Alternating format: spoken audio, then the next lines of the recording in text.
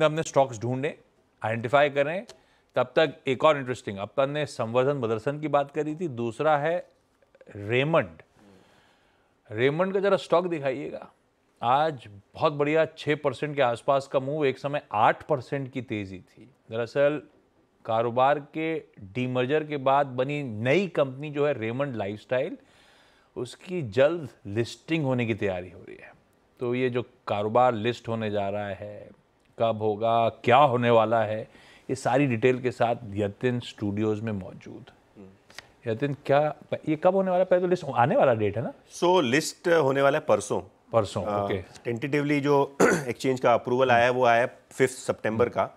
और Raymond lifestyle वो business है जो पहले रेमंड का कोर हुआ करता था जो जो फैब्रिक बिज़नेस है जो वो जो अपन सूट वूट बनवाते थे बनाते हैं आप जो शर्टिंग बिज़नेस है वो सारा का सारा बिज़नेस जो है वो अब रेमंड लाइफस्टाइल में चला गया है हाँ। और जो अभी आप जो छः परसेंट स्टॉक ऊपर देख रहे हैं वो ज़्यादातर रियल एस्टेट बिज़नेस है तो जो कोर बिज़नेस है जो रेमंड लाइफस्टाइल का है वो फिफ्थ सितंबर को लॉन्च होने वाला है आपकी जानकारी के लिए बता दें कि रेमंड जो है अभी जो लाइफस्टाइल बिज़नेस जो आपका लिस्ट होने वाला है उसके हाँ। अंदर Park Avenue Raymond Park ethnics by Raymond और कलर प्लस जैसे ब्रांड्स को हाउस करेगी ये कंपनी अगर हम बिज़नेस की बात करें तो कंपनी का फोकस रहा है कि वेडिंग सीज़न और जो शादियाँ होती हैं भारत में लगभग 50 लाख से ज़्यादा शादियाँ होती हैं हर साल, उस बिज़नेस सेगमेंट पे फोकस किया जाए और आगे जाके जो बांग्लादेश और चाइना की जो अपॉर्चुनिटीज़ है टेक्सटाइल सेक्टर में, उसको कैसे कैपिटलाइज किया जाए। कंपनी ने येस्टरडे एक एनलिस्ट मीट रखी थी और जो कमेंट्री है, उसके अंदर कोर कैटेगरी है, जो कैश काउ है, वो है ऑब्वियसली ब्रांडेड क्लोथिंग बिज़नेस जो रेमंड के सूट वगैरह आप देखते हैं। लेकिन जो न्यू कैटेगरीज है ethnic wear inner wear sleep wear international retail यहाँ कंपनी जो है एक नई कैटेगरी बनाने वाली है जहाँ से ग्रोथ आएगी। गाइडेंस जहाँ तक की सवाल है कंपनी 600 से 700 करोड़ के फ्री कैश फ्लो का गाइडेंस दे रहा है हर साल। और अगर हम बात करें 12 से 15 का सेल्स ग्रोथ ये करने वाली है कंपनी और डबल एबिटा एक्सपेक्ट कर रहे हो एफ़ आई तक। और अगर हम बात करें लिस्टिक एक्सपेक्टेशंस की तो बहुत सारे ब्रोकरेज की बहुत सारी कमेंट्री है। हम्म। लेकिन जो मैनेजमेंट कहता है वो ये है कि आगे जाके फ्री कैश फ्लो बहुत ज़्यादा होने वाला है और स्टोर एडिशन भी इतना ही एग्रेसिव होगा। तो रेमंड लाइफस्टाइल जिस धंधे से अपन रेमंड को जानते थे वो अब परसों लिस्ट होगा। अभी जो है वो बेसिकली सारा रियल एस्टेट प्लस वो टूल वूल वाला जो धंधा। बिल्कुल इंजीनियरिंग इंजीनियरिंग वाला धंधा। ओके तो वो मेरे ख्याल से फिर ये तो सेंटिमेंट पॉजिटिव हो गया इनके लिए इसलिए वो चल रहा है। बिल्कुल। लाइफस्टाइल का धंधा अभी है ही नहीं लिस्ट होगा। होगा। क्या कह रही है ब्रोकरेज जो आप बात छेड़ी? तो तो देखिए तीन चार ब्रोकरेजेस है। मोतीलाल हाँ। ओसवाल को तो लगता है कि साढ़े पाँच सौ छह सौ करोड़ का कंपनी प्रॉफिट कर सकती है F Y twenty six lifestyle lifestyle business okay. और जो लिस्ट होने वाला है वो सिस्टमैटिक्स को लगता है कि यहाँ से अगर हम टेन टाइम्स ईवी एबिटा दे दें ब्रॉडली सब बिजनेसेस को ऑन एन एवरेज तो तेईस सौ रुपये की बेस वैल्यू बनती है। लेकिन आज जो रिपोर्ट आई है बड़ी वो है वेंचुरा की जहाँ रेमंड लाइफस्टाइल पे उन्होंने thirty thousand crore market cap का एक्सपेक्टेशन रखा है।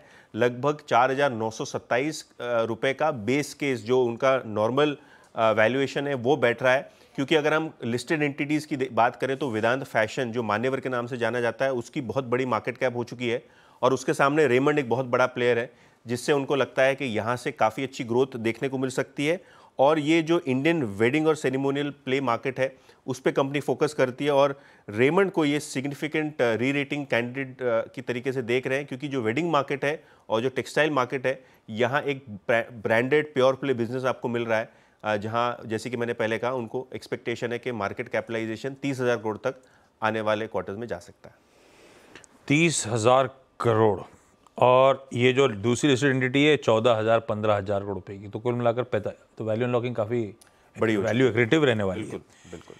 हो तो रेमंड के स्टॉक पे पहले एक व्यू ले लिया जाए। Jatin thank you so much detail में समझाने के लिए। अब पाँच तारीख यानी कि परसों ये रेमंड लाइफस्टाइल लिस्ट होने आएगा शेयर बाज़ार में। तो उससे पहले यतिन ने सारी डिटेल आपके साथ शेयर कर दी।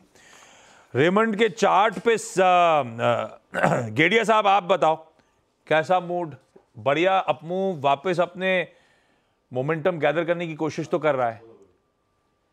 देखिए, अगर जो रेमंड का डेली चार्ट में देखूँ तो हमें लगता है कि एक वीक का कंसोलिडेशन हुआ था और आज वो कंसोलिडेशन ऊपर की तरफ़ ब्रेकआउट हुआ है। वीकली चार्ट्स पे इनसाइड बार पैटर्न बना है। हमें लगता है कि ये जो अपमूव स्टार्ट हुआ है वो around twenty twenty three eighty twenty four hundred तक चल सकता है। इसके लिए हमें लगता है कि जो ब्रेकआउट आया है, उसमें अभी भी स्टीम लेफ़्ट है। हमें लगता है कि आगे, आने वाले दिनों में पॉजिटिव मोमेंटम कंटिन्यू रह सकता है ऊपर की तरफ़। ओके रेमंस मीन वाइज जरा आप एक